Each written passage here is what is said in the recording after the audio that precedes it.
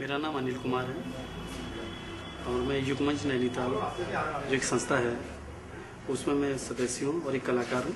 और छोटे बच्चों के साथ नाटक, बाल रंगमंच जो नैनीताल में युगमंच जो करता है, उसके, उसका मैं निर्देशन भी करता हूँ।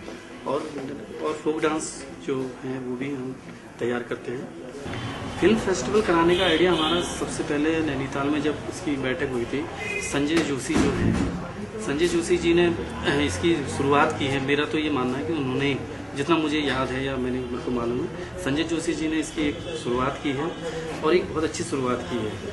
नैनीताल में इसकी ज़रूरत इसलिए है क्योंकि यहाँ लोग देखना चाहते हैं और इससे जुड़ना चाहते हैं। और हमारा ये तीसरा जो फ़िल्म फेस्टिवल है, काफ़ी आज जिस हिसाब से यहाँ भीड़ थी क्राउड इतना ज़्यादा था, स्कूल के बच्चे आए थे तो मुझे लगता है कि यहाँ इसकी ज़्यादा और ज़्यादा ज़रूरत है और इसे और बड़े पैमाने में हमें करना चाहिए। और दूसरा ये है कि हम लोगों को इसका वेन्यू ज़रा चेंज करना चाहिए। क्योंकि शैले हॉल इतना हम चाहेंगे कि इसको हम जो हमारा फ्लैट है फ्लैट के आसपास का जो है उसको ठीक ठाक करके वहाँ हमें इसे फ़िल्म फेस्टिवल करना चाहिए और ज़्यादा इसका वो बढ़ेगा। आप लोग फेस्टिवल करने के लिए फंड कहाँ से लाते हैं?